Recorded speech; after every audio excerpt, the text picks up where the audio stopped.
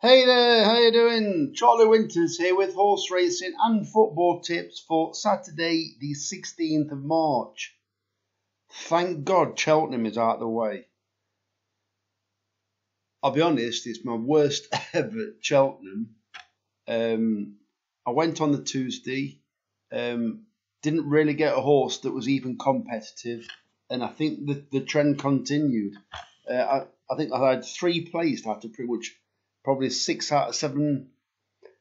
I think I had a, a runner in six of the six of the seven races every day, and I think I only had something like three or four horses placed throughout the entire meeting. So for Saturday's tips, you'll be more than pleased that I bet you couldn't wait for these then, could you, to let the trend continue? Well, hopefully the trend changes. Well, there's four selections that I like. I'm keeping it. I, I nearly I, I thought about doing a no selection Saturday, just completely write it off. Um, but I changed mine because there's four horses that I like. However, while I've added them to the bet slip and been looking, they've massively changed in price. Um, so let me get into it. So basically, all it is, it's just an each way lucky 15. I think I might even just chuck a tenner on tomorrow, um, and that includes football. Um, I am actually a bit down in the dumps, as in like it's gutting because it's like you look forward to Cheltenham to a degree. I, I, I don't get as, as excited as what I used to because I wasn't even actually going at one point. And then you get ripped off while you're at Cheltenham. You have a horse, you have but you back horses that don't do anything, don't even turn up. And yeah, anyway, crikey. Anyway, um, ten pence each way, Lucky fifteen pound each way accumulate. That comes to a fiver. Then I'll have a three pound over two and a half goals treble, two pound over three and a half goals treble, ten pound on. Sit back and watch. So the first selection is Tanganyika at 14 to 1 in the 225 at Uttoxeter, paying six places instead of four.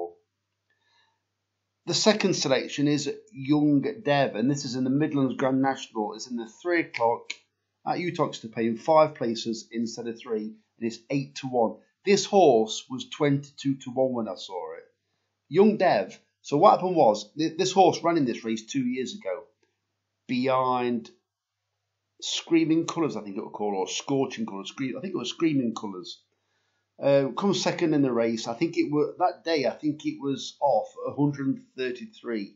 I think it's now off 119. Um, it's shown the odd glimpse of form, and I think it's got a right chance. Problem is, all the value's been had.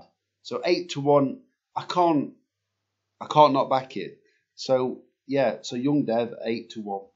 The next selection is Alien Storm at 15 to 2 in the 10 past 2 at Kempton, paying four places instead of three.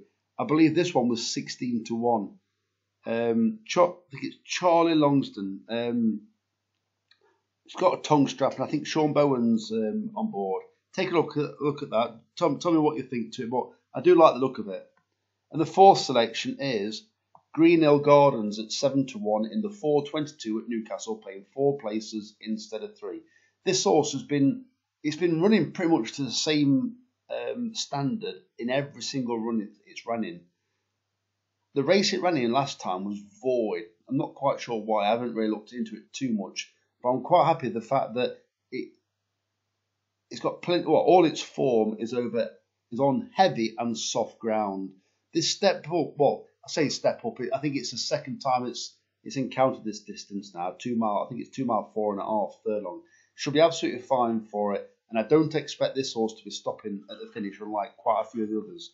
So the football bet will be in the description and the comments. It'll be over two and a half and over three and a half gold trebles, ten pound stake for the day.